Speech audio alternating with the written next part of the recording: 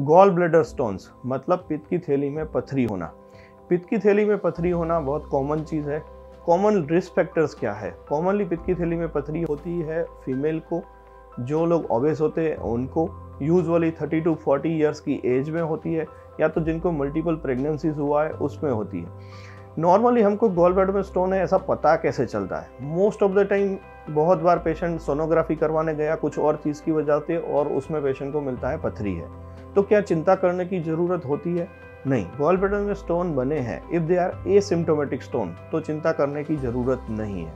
But जब भी gall bladder stone की वजह से पेन हुआ तो वो पेन सीवियर होता है। चार से छः घंटे तक पेन चलता है, जिसमें पेशेंट को राइट अपर क्वाड्रेंट मतलब पेट का ऊपरी हिस्सा और पेट के बीच में दर्द होता है, जो दर्द असहनीय होता है। ऐसा दर्द अगर गॉल ब्लेडर स्टोन की वजह से कभी भी हुआ है, या आपके डॉक्टर ने आपको बताया कि ये गॉल ब्लेडर स्टोन की वजह से हुआ है तो गोल ब्लेडर स्टोन का समाधान करना बहुत ज़रूरी है। गॉल ब्लेडर स्टोन की अगर पेन एक बार होता है तो दूसरी बार उसी साल में होने का चांस 40 टू 50 परसेंट जितना ज़्यादा होता है। नॉर्मली पित्त की थैली में पथरी है, तब तक पेशेंट को पेन होगा, कोई प्रॉब्लम मेजर होने का चांस नहीं होता है।